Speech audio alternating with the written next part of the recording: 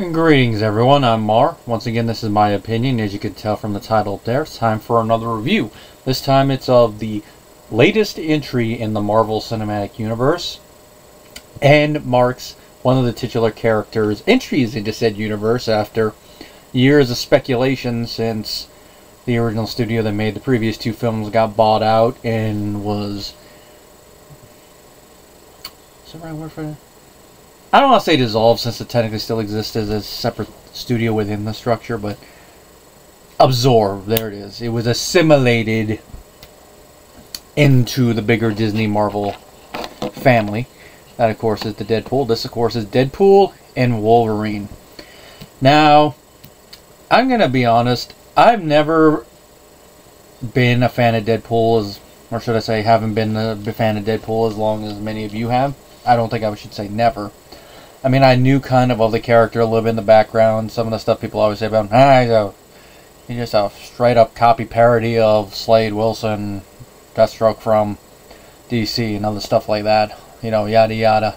And a lot of the over the top stuff, like, oh, and then of course, the more recent stuff, ah, they just made him a copy of Harley Quinn. Oh, they just made Harley Quinn a copy of him.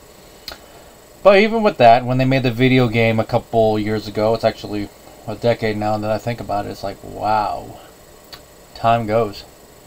I played it and I enjoyed it. I do have a copy on the PS4 I haven't played, so I haven't replayed it in a while, so maybe in a little bit, maybe I actually might get around to it once I finish playing a couple new games that I've been meaning to finish. Now, even with all that, when the teaser was leaked for the original film, I watched it and I thought, oh, this should be interesting because I know I'm skipping around and everything. Because the thing that technically introduced me to Deadpool was his disastrous appearance in X Men Origins Wolverine. I will still say the part where it actually is Ryan Reynolds playing him, he actually does do a pretty decent job for what little bit of the characters in there. It's the latter half where, like, yeah, I understand why the hardcore fans hate that. Now, when they did announce they were making the original film, I was hyped. Me and Jeff went and saw it, and I really did enjoy the film nice way to spend the beginning of my weekend that week to see that film. And of course, when they announced they were making the sequel a couple years later, I had to go see it, and I definitely enjoyed it. I haven't watched both films back to back in a while, but I remember liking the second one a little bit more. But I think part of that might be the higher budget and all that, but it's one of those things I'll see how it looks back to back. Now, with the buyout, I was in the camp of like, I would really like to see a third one, but if they never make one, no skin off my nose, it's just gonna be sad. But then when they announced they were gonna make a third one and it was gonna be R, I'm like, okay then, that should be good. If they let it be R and don't interfere with it too too much, it should be good. Then of course when they announced that Hugh Jackman was coming out of character retirement to once again play Wolverine, I'm like, oh, that could be interesting because you know they're gonna try to do it in a way that definitely pays a little respect to what happened to him at the end of Logan and allow everything to go well, especially since the MCU has been going in the direction of multiverse for a while, the variants and all that. There is a story reason why there could be another Wolverine, especially considering that the X Men series already delved into time travel and all that, and you could look at it and go like, okay, then Logan is they've already mentioned is in an alternate future, so this could either be this could either be the main one we saw in the original films, this could be one from the result of the time travel, everything's all weird, or it could just be a completely separate one that's splintered off because of the time travel. Now, if you take the flashback we see later in the film seriously, then it's a little bit of that, but this is technically the same Wolverine we saw in X Men Origins Wolverine, which, if that's the case, this is a nice little way to redeem that version of the character. The only reason I say that is because we actually see the flashback scenes of him getting the adamantium and all that. It could be stand-in stuff, but they could have used the little brief flashbacks from X2, or they could have just done other implication stuff. But nope, that's the one they went with. Now, film came out. I was watching a little bit of the marketing, and I'm glad I saw the film when I did because the spoilers are all over the TikTok, and it's like I can't even scroll down five seconds on this thing without another little scene coming up. Thankfully, it's mainly the moments that don't really provide a lot of spoilers, like the opening credits and other stuff, and a lot of people are respectful and like posting little thing, although there's a spoiler warning, which just as a heads up, deeper into this video, I am going to start talking spoilers. I will give the warning like I used to do with some of the MCU film reviews about it. Now, of course, I saw the film, and I have to say I did enjoy it. Now, where I rank it, I don't know. I'd have to watch all three in quick succession, which I'm thinking, since I do plan on seeing this film in theaters again, that I'll watch the other two first and then watch it, and then do a little ranking of it. But I'll say that this, knowing what we got in the original trailer, where the MCU has gone since Endgame, and how Deadpool is a character and what we got in the, his first two films, this is everything I could have hoped for in this sequel. It is still respectful to Logan's thing for all of two seconds. Because you know Deadpool is as a character. He's going to go there. And Hugh Jackman, he really does not pull any punches as Wolverine here. He really, both him and Ryan Reynolds make use of that R rating well, and there's a lot of blood in there. I mean, it's not a lot of practical blood like back in the day, but there's still a lot of good blood use at points. Now, the plot of the film is that while Wade is still alive following the events of the second film, things have not been going the best for him. Because of his whole time travel thing, he did manage to find out a way to cross into other universes. He went from his universe, which is Earth 10005, to Earth 616, which I know a lot of people are going to go, it's not 616. In the MCU continuity of events, technically it is. It only has a different des designation when you look at it in the whole greater Marvel continuity with the comics and all that. But within the confines of the films, that's what it is.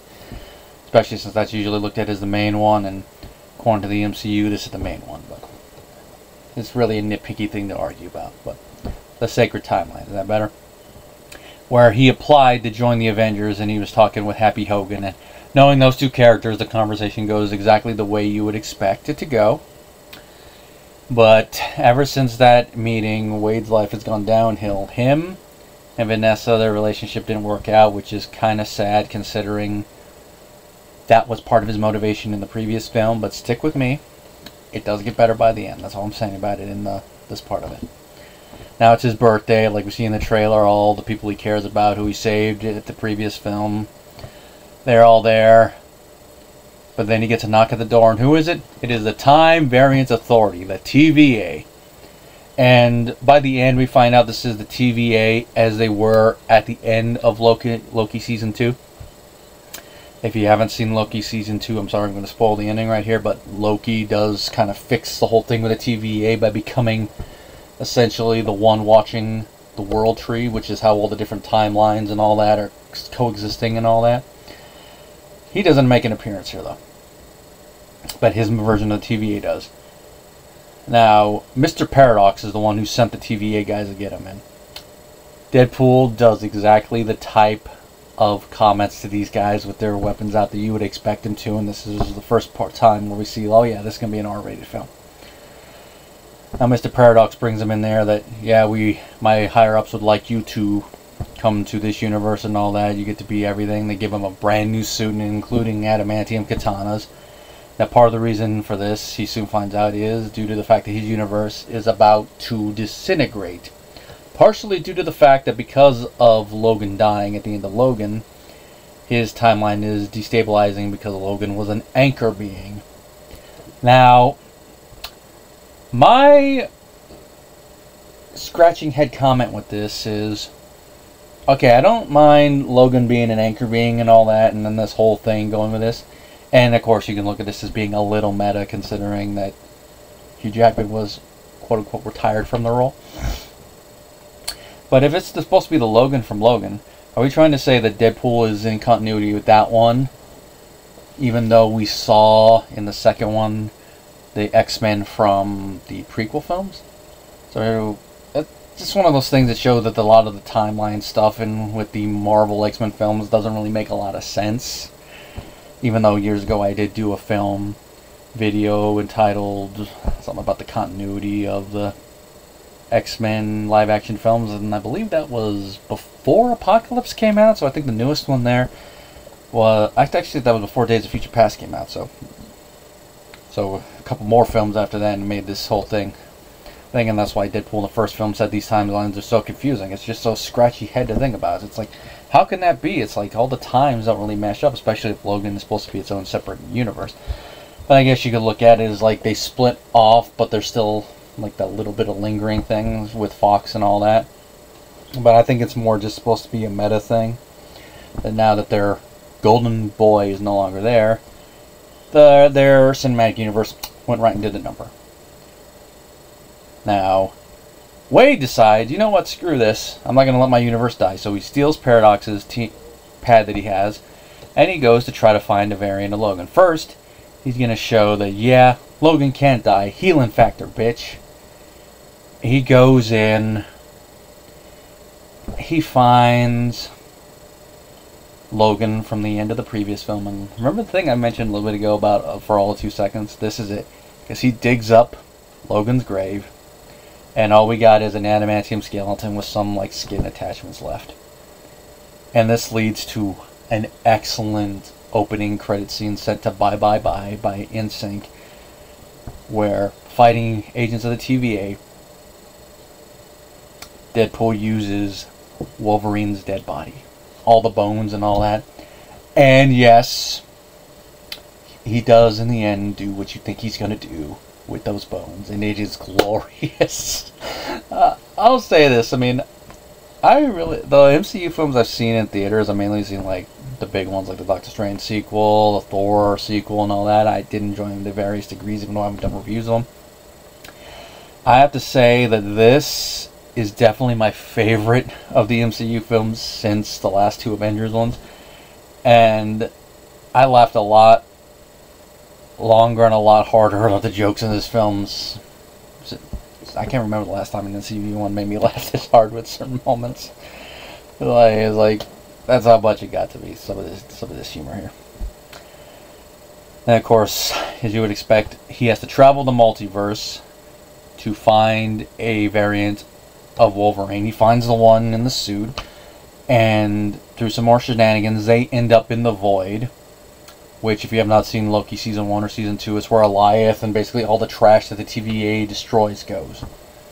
And of course, there they find characters from the other Fox Marvel films. That's where they see Sabretooth, they see, they see Toad, and of course, Cassandra Nova, who is Charles Xavier's twin sister, who is pruned from existence by the TVA.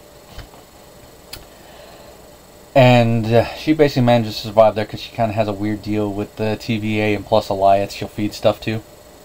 Now, their whole thing is they're going to try to get out of there and go with all plan. And that's all the plot I'm really going to talk about in this part of it. I'll get to more in a little bit. All in all, the acting by the characters are pretty good. Like I mentioned, Hugh and Ryan don't pull any punches with their characters, and they do have a pretty good chemistry and you can definitely tell that they're bouncing off each other pretty well. And not even two minutes into knowing each other, the way he plays it, you can tell this version of the Wolverine is tired of Wade's shit, and that just continues on and on throughout the film. Now, there's a point later on where he does get a grudging respect for him, and this does turn into a friendship in the way that Hugh and Ryan play off each other. Now, more than likely, this is probably the last time we see Hugh as Wolverine even though there are occasional jokes all throughout it. You know, Ryan has Wade breaking the fourth wall. It's like, yeah, they're going to keep making him do this till he's 90. I, I don't think it'll go that long, but I will say if they do manage to get Hugh out of retirement to play a character at least one more time after this, alongside Ryan as Wade, those two together, they do good. Whether it's just like a quick cameo or whatnot, we don't know. Now, uh, the score by Rob Simonsen. He does a decent job with the score. Uh, the directing is done by Shawn Levy, which, if you don't know that name, he's the guy that directed Big Fat Liar, Cheaper by the Dozen, the remake of the Pink Panther, the Night at the Museum trilogy, Real Steel, Date Night.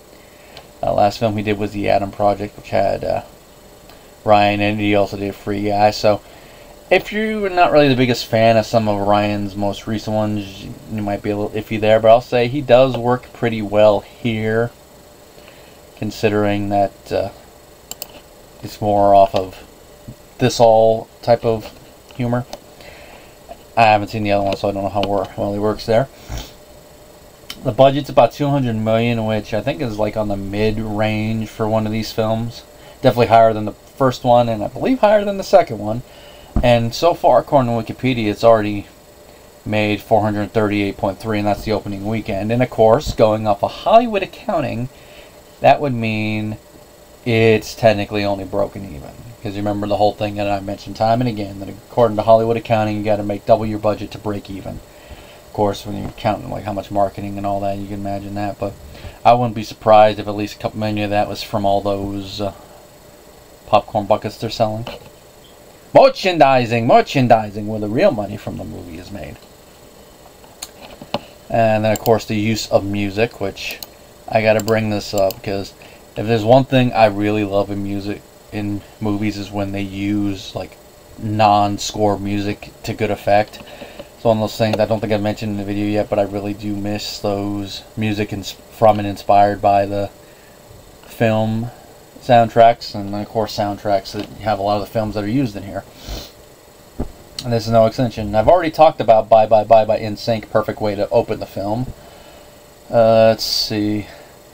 You got Iris from the Goo Goo Dolls at one point. Of course, you got Power of Love, which that film, the perfect way to underscore Wade trying to find the right Wolverine, because you know it's from about time travel, and those series do kind of they go in a whole multiverse thing without it technically being a multiverse because it's technically one interchangeable timeline.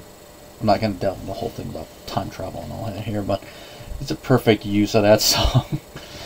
I'm a Rambling Man by Waylon Jennings at one point. Uh, Lady in Red. Uh, there, there's I'm With You by Avril Lavigne, but I don't recall that. For we hear a few bars of The Greatest Show from The Greatest Showman. Hugh Jackman, you knew they were going to throw that in there uh, I'll be seeing you. Uh, let's see. Alrighty. Uh, then of course there's that one Madonna song that no one has ever gotten a license with. I'm looking for it on the list here, but I'm not seeing it. But the use of that, that was an excellent use of it. And then, of course, this is technically not a movie spoiler. I mean, out of context, it's not, but in context, it will be. The use of "Good Riddance, Time of Your Life" by Green Day. I know the song is about a about a badish breakup, but this, the tone of this music, and then some of the lyrics and all that, it is the perfect song to underscore the mid-credit scene, which was a loving, heartfelt tribute to the Fox Marvel films, whether you like a lot of them or hate a lot of them. And this is not just the X Men ones, Fantastic Four and all that one. It's the perfect way to undercut that. Undercut that, excuse me. And it really did hit me here, like, wow. Yeah, right there. But it just shows that they're not just crapping all over. They really are being heartfelt with this film. Because that's one thing I will say. This film there's a lot of humor in it, but it definitely still does have a lot of heart with it. And considering that you have Wolverine in here, it kind of has to go that way. Now, that's going to be all the non-spoiler part of it. If you don't want to be spoiled by anything big, I would stop the video right here because from here on, the stuff I have to talk about with this film is going to be spoilerish. So if you haven't seen the film and you want to wait until you see the film to continue on, you save the video and then come back. If you don't care about spoilers. Now, on to the spoilers. Now, when Wade is jumping back and forth, grabbing all the different Wolverines, I love how a lot of this is tribute to all the different things throughout the comics. Like, of course, first we get comic accurate, accurate Wolverine when them using CGI to make Hugh Jackman Wolverine's height of 5'3". And the way they do it shows that while that concept works in the comics, unless you get an actor who could pull off that same menace who is 5'3", which I'm sure is possible, it doesn't hit the same. And of course, with Hugh Jackman, it just adds to the humor of it. And of course, the Wade goes the usual route. Of course, you get the one Wolverine with the eye patch and the white suit. There's an actual old man Logan at one point. When I saw that, I'm like, oh, that is cool. And of course, that's the one with the shotgun. We get that one Alpha Omega one in the alleyway, which is the one that really beats the crap out of Wade. the power of love, you gotta love that. And of course, the one being crucified on the giant X, which is like, ooh. And of course, this is where we get one of the cameos. We get a cameo from Henry Cavill as a Wolverine variant. Because this is one of the things when they do touch on that, because in the previous shows and movies where we've had variants of the characters, they've gone back and forth on whether or not they look like all look the same or they're different.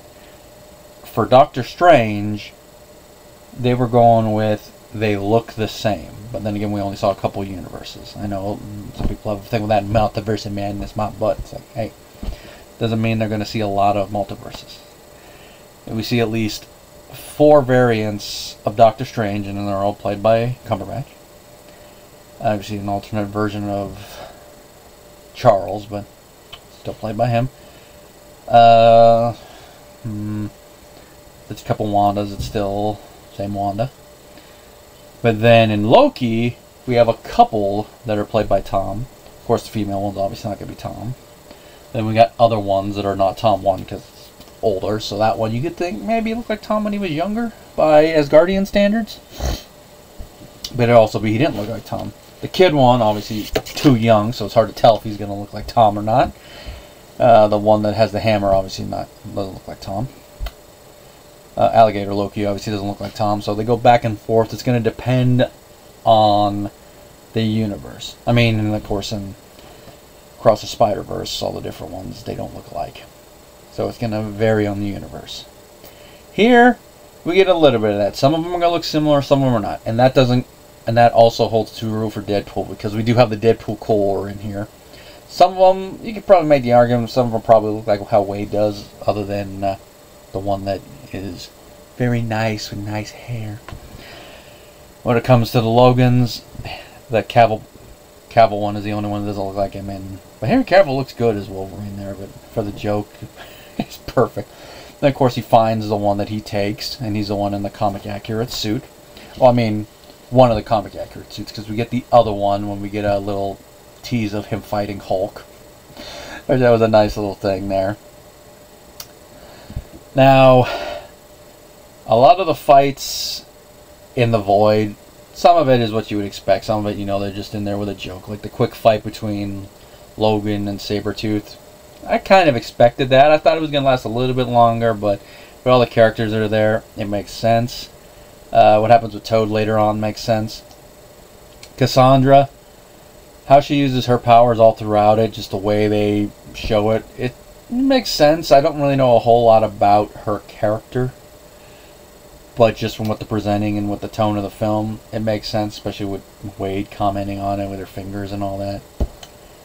Without me saying stuff, take that what you will.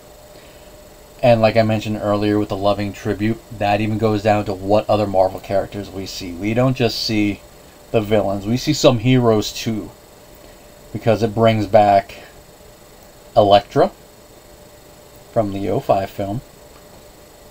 It brings back Wesley Snipes' Blade.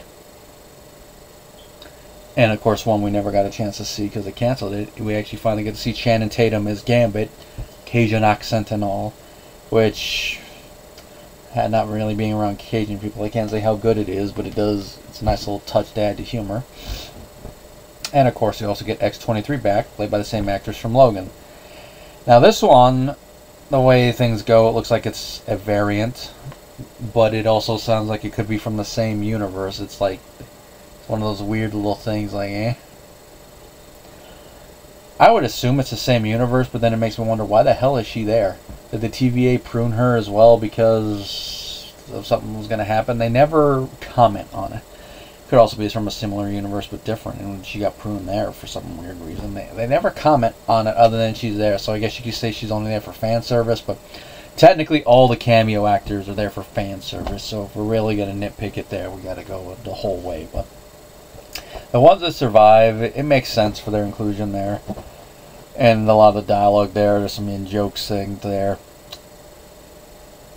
And probably one of my favorite was uh, Blade's line about him being the only Blade.